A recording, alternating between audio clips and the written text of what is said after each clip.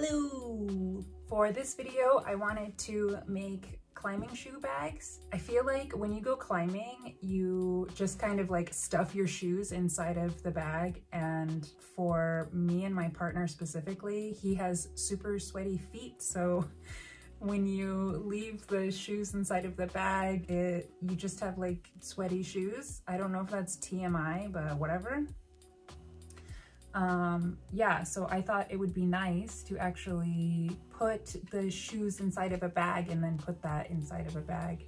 Um, yeah, so I'm making two bags today. I will be making one for me and one for my partner, Nico. And the plan is, is to hand sew them and then to paint over them and then also to embroider on top of them as like a little extra decoration. So yeah, this is the video of me doing that. So come along and we'll see uh, what, what, comes, what comes of it all. Yep, okay, here we go.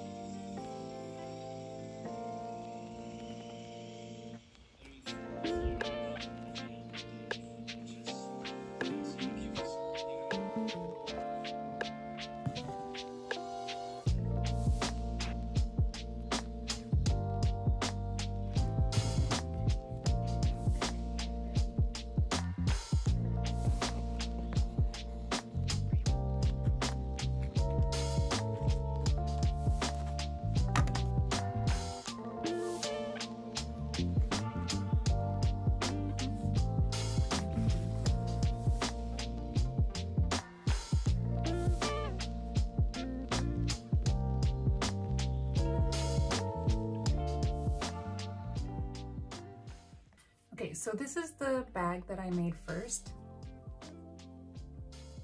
I didn't know what I wanted to do here. I accidentally made a mistake where I sketched with a Sharpie and so couldn't really undo what I sketched out. So I just kind of painted it on differently. I painted two loops here instead and then just embroidered this. One of the biggest problems that I struggle with is like overthinking and kind of being a little too methodical with my my work and so I feel like when you concentrate so hard on something, you can see it. You can see that like you're really trying to make sure that every single little piece is in its right place. And I feel like you lose a lot of character when you do that. So I I don't like this side at all. I feel like it's too, like, first of all, I'm like trying to cover up the mistake that I did with the Sharpie and then um, and with this one I just I don't feel like it flows. I feel like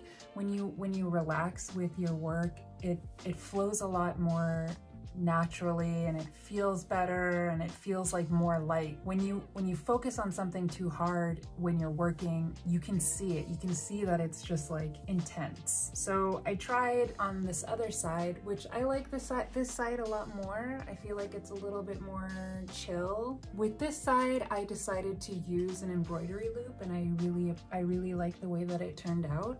So I think for sure I will be using an embroidery loop uh, for the rest of the embroideries that I do on the other bags. Yeah, and I just kind of made it a little bit more chill and just like put little random stitches wherever and I like it a lot more. I feel like it's it's like less effort, more flow. Yeah, so, okay, off of camera, I made another bag and this bag will be able to fit Nico's. These, these, this bag will fit my shoes, and then I think this bag will fit Nico's shoes. Now I know kind of the size of bags that will fit like really big climbing shoes and like maybe just size 42 and a little bit smaller. So I'm going to take all the lessons that I learned from this bag and put it into this one and hopefully I will have a kind of more relaxed, more stylized, fun climbing shoes bag with this one. So yeah, okay, I'm going to start sewing and painting and and we'll see how it goes.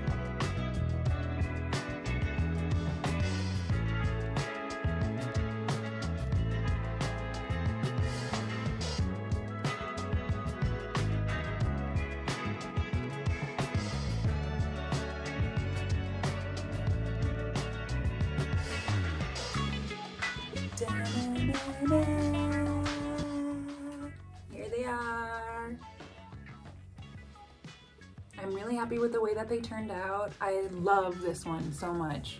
Look at that. Look at that.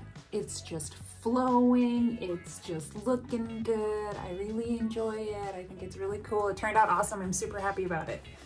And yeah, the shoes fit perfectly inside. And the other one, try not to shake the camera.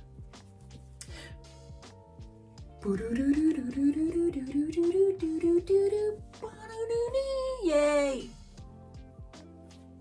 It's okay, I like it. I like it a little bit more, but I'm still, I still appreciate um, this one, Nico's bag, a lot more. I think it's way cooler. Feet.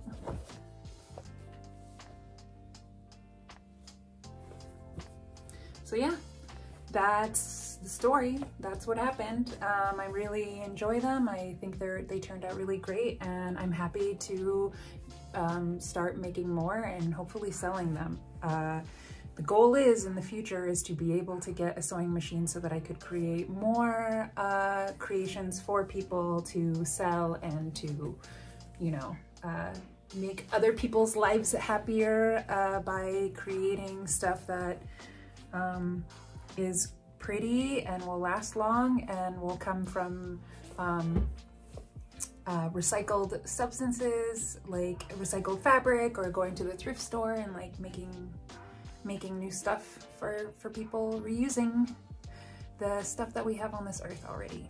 Um, yeah so that's it. I hope you enjoyed it and please like and subscribe uh, and yeah we'll see you in the next video. Goodbye